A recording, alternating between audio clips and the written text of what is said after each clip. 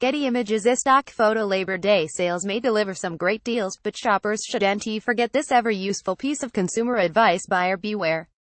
Retailers are offering deep discounts to lure consumers, who they hope will open their wallets to buy higher margin items. Stores are under increasing pressure this year to boost sales given a brutal retail environment, with more than 10 retailers already filing for bankruptcy this year. Bricks and mortar stores are feeling the pressure amid the rise of online retailers like Amazon. On top of that, Americans are increasingly on the hunt for a bargain and have become more savvy about sniffing out discounts. Still, shoppers can be tempted to make an impulse buy, which is why it's useful to know where you will be able to find the low-cost items this weekend and what kind of products to avoid.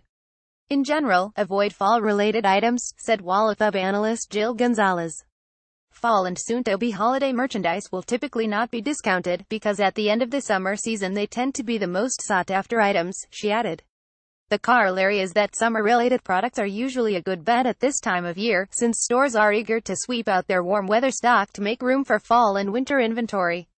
Shoppers should look for sales on grills, patio furniture and summer clothing, according to BestBlackFriday.com, a shopping information site. Mattresses are typically on sale, with retailers expected to offer discounts of up to 50%, BestBlackFriday.com's Philip Dingler said. Appliances are also likely to be a good deal, with Home Depot offering up to 40% off on some appliances. Perhaps most important, do your research before heading to the store, Gonzalez advised. Do some online browsing before diving into actual purchases, so you can compare deals easily, she said. Start early and plan your purchases ahead of time, so you don't indulge in overspending and impulsive buying. This should help you find the best deals to spare your wallet.